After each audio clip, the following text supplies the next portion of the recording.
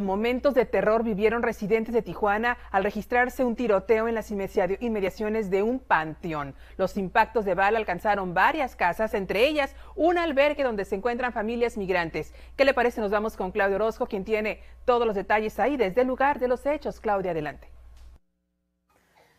Hola, ¿qué tal? ¿Cómo están? Buenas tardes. Hoy los saludo desde una de las habitaciones del albergue Agape, donde se hospedan mujeres migrantes y más de 25 niños. Justo en la ventana de esta habitación dio el impacto de una bala mientras se registraba un tiroteo entre policías y presuntos delincuentes afuera de este albergue. Sobre esto nos platican cómo lo vivieron y el caos que se generó dentro de la habitación. Un vato bajando con una pistola y era. Allá va entre el cerro, que le iba hasta colgando el cuerno así por un lado.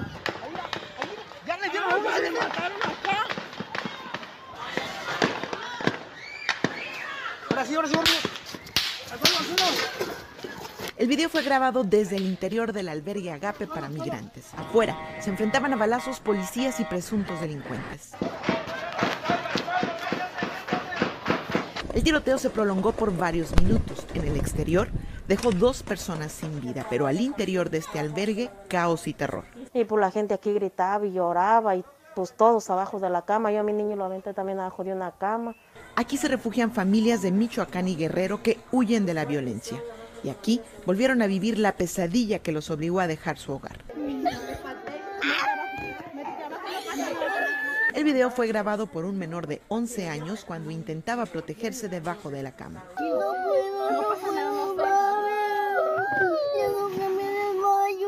Fueron ellos los más afectados. Yo pensé que ya le habían dado a mi mamá. Yo me asomé a grabar para si le habían dado porque gritaba mi tía y mi mamá y yo dije que ya le habían pegado y ya se iba a morir.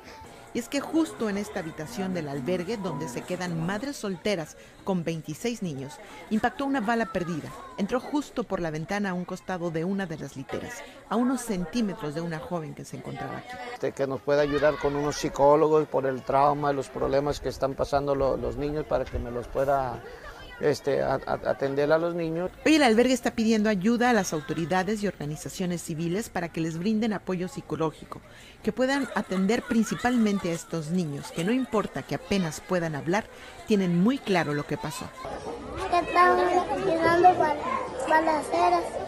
Es el segundo tiroteo que se registra en menos de un mes afuera de este albergue. Afortunadamente hasta hoy no han resultado personas lesionadas, pero sí un impacto emocional en cada uno de ellos y siguen esperando ayuda profesional para lo que vivieron. El reporte que tenemos desde Tijuana.